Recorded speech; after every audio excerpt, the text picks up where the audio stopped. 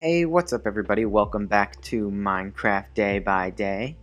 This is episode 11. In this episode, we're going to be going to the end because we lit the portal in the last episode. So, in this episode, we're going to defeat the Ender Dragon and go for some more gear. We're doing another commentary style video because those seem to perform better on YouTube. You may notice I have a little day counter at the bottom now. It's going to help us keep track of the days from now on.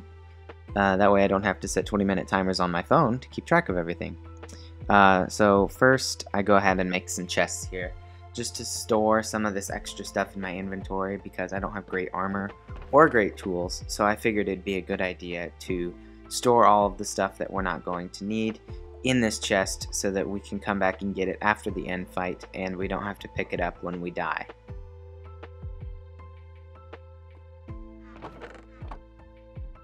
We do go ahead and make another stone pickaxe because I see that my iron one is about to break. I did not realize how close to breaking it was at this point. Uh, but we do start putting some of the stuff away. I want to keep the paper and gunpowder on me so when we go to the outer end islands, the we'll be able to make fireworks so that we can use the rockets to get around to other end ships easier.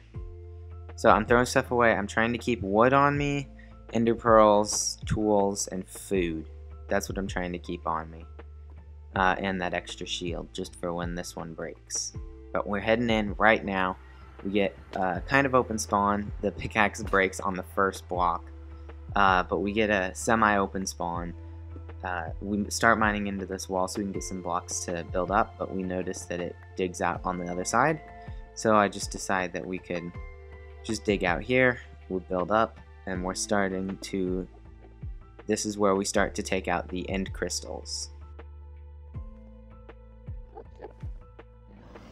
The end crystals in this fight were uh, I had to finagle them quite a bit uh, because we don't have great gear because of that death a couple episodes ago. So I decided that we I was just gonna mine up the some end stone to get some blocks with a stone pickaxe. It's very slow. But then we're going to grab our water bucket and some of the food, and we're going to try to pillar up and take out some of these end crystals.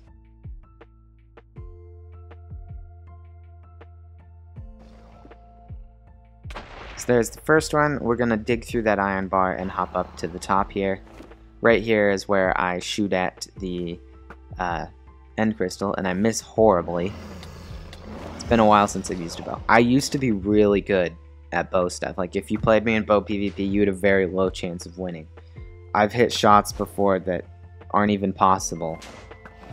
Like there there have been times I think I once was playing with my sister and she was on the edge of my render distance and then walked out of it and I shot the bow and I managed to hit her out of render distance. Like I couldn't see her, but I still hit her. And my render distance was set to like 12 or 13 at the time because I had a pretty bad computer but still like 12 to 13 chunks away out of render distance. That's really far. So we're shooting at more of the crystals. I still suck at shooting. I can't hit a shot. I need to get better at it. Been a while since I've done bow stuff. Another example of the bow was there was a ghast I found in the nether. This was on Bedrock Edition. I was on my phone, which makes it even more crazy, honestly. But I was in the nether and I saw a ghast and the ghast started to shoot a fireball at me. So I shot my bow and arrow at it and the arrow went in through the fireball, which you know arrows they they deflect fireballs. So it deflected the fireball back towards the ghast and so the arrow that flew through the fireball killed the, killed the ghast, and then another one spawned behind it, and the fireball that the arrow deflected killed the second ghast. I really wish I had that recorded. I, I, I was on my phone, so I didn't record it, but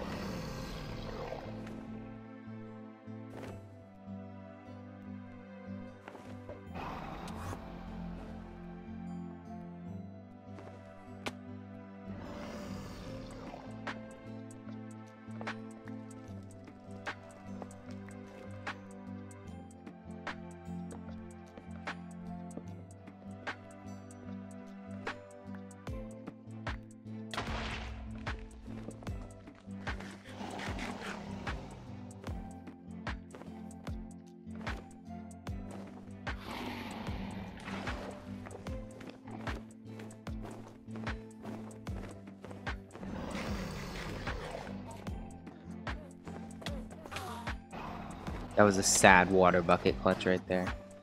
I hit almost all of them in this episode. I was actually really good at them. And I've never been bad at them per se, but you know, I've never been good at them either. So, it's kind of cool. This pearl, I did actually mess up this pearl. I couldn't get the block placement right, and I barely survived it. Uh, but we did survive it. I try to conserve wood because I know there's no way to get wood once you're in the outer end islands. And you always forget to bring wood with you, and then you remember you need a crafting table and shulker boxes to, uh, or a crafting table and chest to make shulker boxes. And I always forget to do that. So I, I'm trying to conserve wood as much as I can, like mining up the stuff that I place. Right here was a pretty sick clutch. I'm not gonna lie. It was a really good one for me. We were on we were dwindling on like between three hearts and like one heart the entire end fight. Right here I'm trying to get some more ender pearls from some of the endermen so that I can pearl onto some of the towers.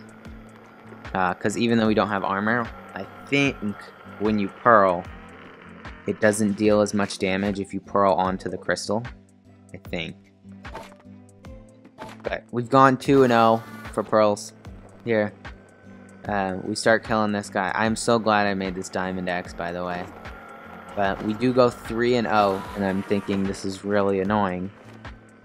Because I want to get to actually killing the Ender Dragon, because Elytra is going to be really nice in future episodes. Especially once we get the mace. But there we get, there we do get the pearl. The dragon's hitting us from behind. He almost launches us up onto the platform, but he doesn't. And then uh, an Enderman's mad at me. I don't know what I did here. I don't know if this that's maybe a strategy for killing Enderman, but like his AI couldn't figure out how to attack me. I don't know what happened there, but it was like the perfect forward movement.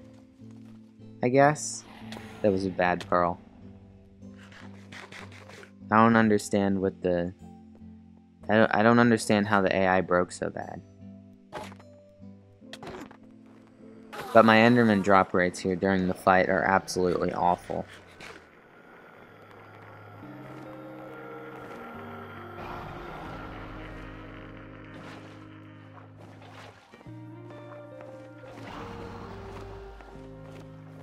So I just water up onto the tower, uh, placing placing the planks.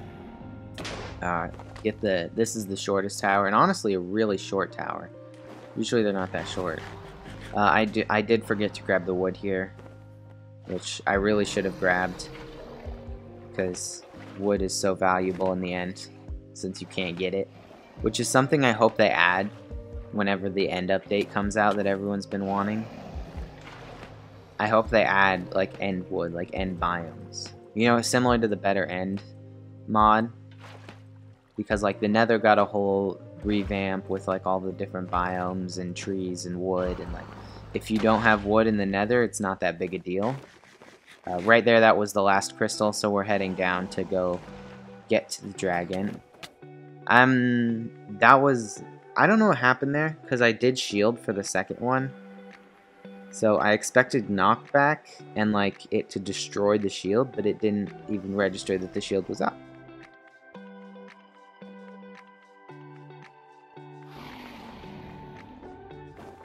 So we're running back to get the stuff. This is why I put most of that stuff in the chest, just because it's easier to get all the stuff back and like pick it all up if you don't have as much of it on you. You got all the stuff, resort the inventory. Put the broken shield back on. And we're ready to kill the Ender Dragon. He does fly away here, but we run in, I break the torches like the speedrunner strat for some reason. I don't know why I did that. I'm not a speedrunner. I don't know how, I didn't have, I didn't even beds, but I don't know how to set up that speedrunner cycle thing. Also not sure how the Dragon's Breath didn't get me there. But I do use water to get the pearl out of the dragon's breath. I run back to the boat. We kill that one. Kill that one. We're doing pretty good on pearls. Uh, we've got three of them in our inventory right now, which is a very good amount. Waiting for the dragon to perch. And I see the perch turn right here, so we head into the fountain. I'm trying to not look up at him completely because there's Mad Enderman, and there is a chance that they'll walk into your line of sight. So once the dragon's down, I just go ahead and start hitting his head. Start dealing a really good amount of damage. He flies away. And so I let the Enderman run away, and then we leave the fountain so that he comes back to the middle sooner.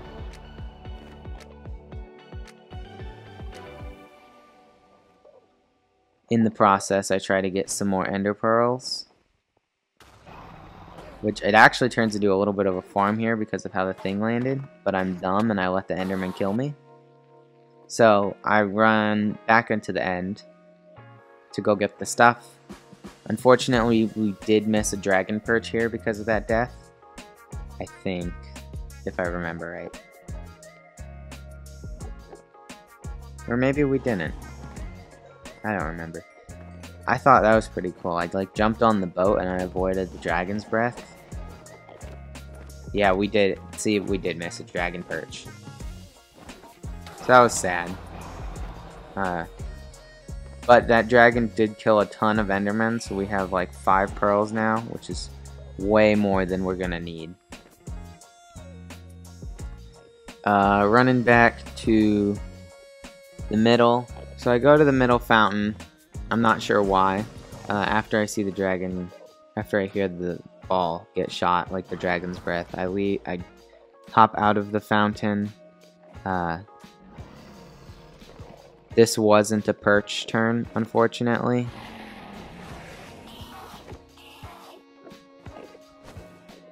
So I'm just kind of sitting here waiting for another perch turn. I don't know, what do you guys think about these commentaries? I know RecRap does a much better job at it than I do, but uh, I think these commentaries, they're, they're easier for recording in the sense that I can get a quiet environment easier that doesn't require my computer. But they're harder because it means I have I need like twice the amount of time to record footage because I have to record the video and then record the commentary over it. So I don't know. We'll see what you guys think. The algorithm is pushing only episode 6, which is my only commentary video, so I figured I'd probably try to make more commentary videos. Just because like episode 6 just reached a thousand views today. But if you go look at episode 10, which is just a normal episode, it's at like 3 views. So, I don't know why YouTube is pushing the other ones so much, but it is. Right here we get a really fast perch. Like the dragon perches immediately. Uh, I did use a pearl, which caused us to take a little bit of damage. But it's okay.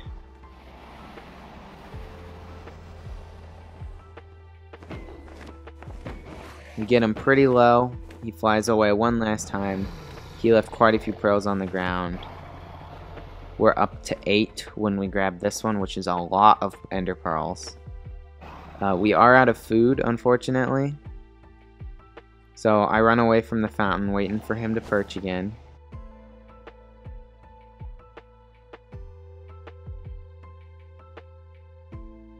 Right there we get the perch turn.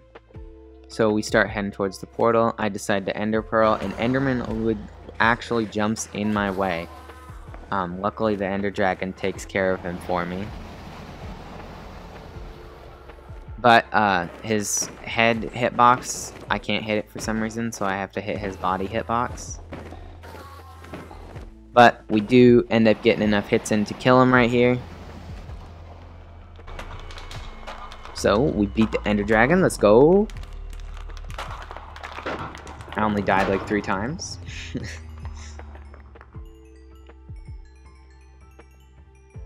We're picking up all the XP. I don't know why I did this. I don't have any food and I'm on three hearts. or two and a half hearts, so I don't know why I picked up that XP. Uh, we grab the dragon egg.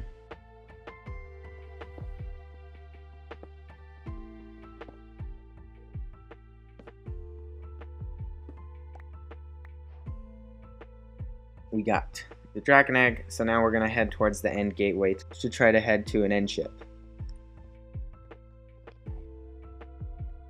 So we have to grab up a little bit of end stone to build up to it first, so that's what we're doing now.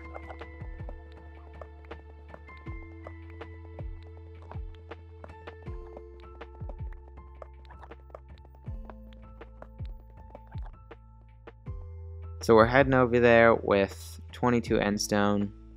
Uh, the portal is actually a lot farther off this ledge than it initially looked. So I go ahead and start bridging out there.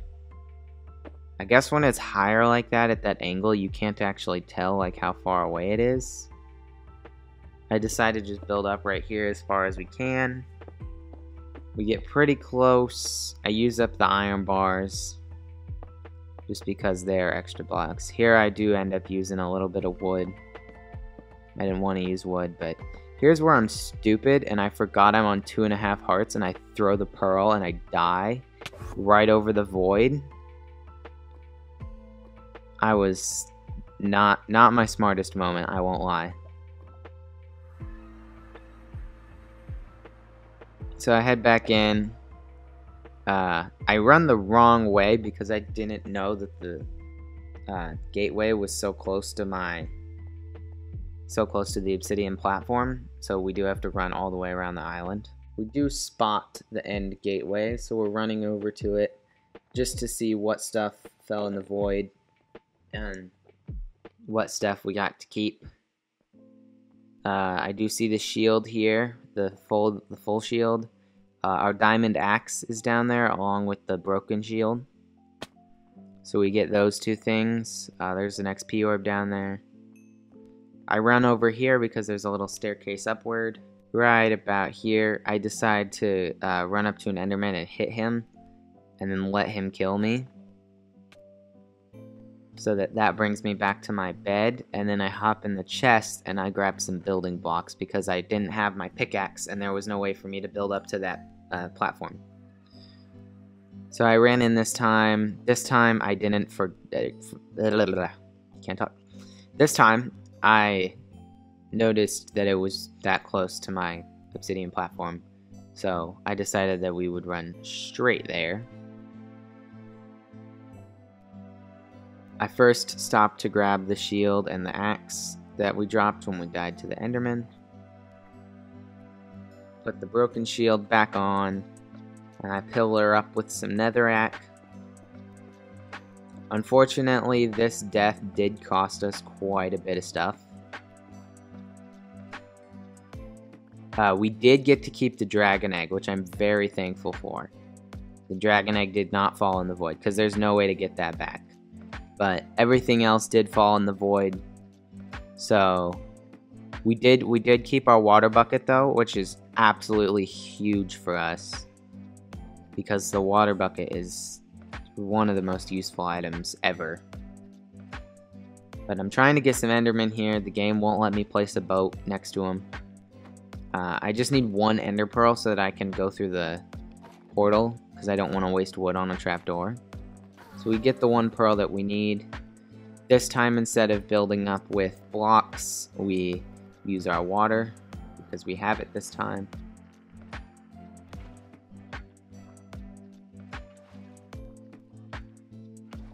Pearl through.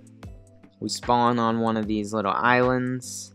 Uh, I do use a little bit of wood here to make a crafting table because since we have limited blocks and no pickaxe, uh, I go ahead and make slabs here just to try to conserve some of our blocks. Pick up the crafting table. I use the odd blocks first, so like the one deep slate, one cobblestone, the two netherrack, uh, and then we go to the slabs. But I, I, I decided we're going to head this way because this is the closest island. And it has chorus fruit on it, which is going to be our main food in the end because there's no way to get food for us in the overworld very easily. And we ran out of food during the end fight. So I bridge over, water bucket down,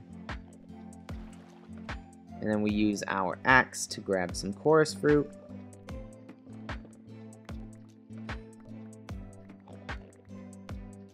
And I was a little late to noticing that my day counter did change.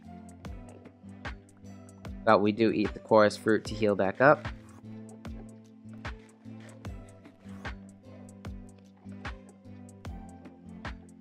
Place down the boat, we put an enderman in it.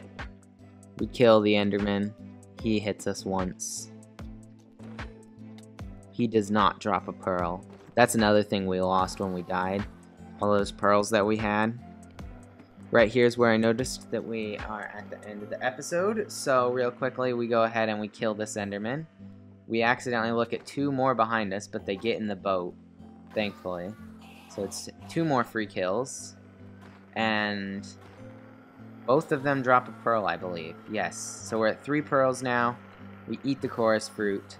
And that will do it for this episode. We got some more ender pearls. Pretty close to an end ship and beat the ender dragon. So I'll see you guys in the next one.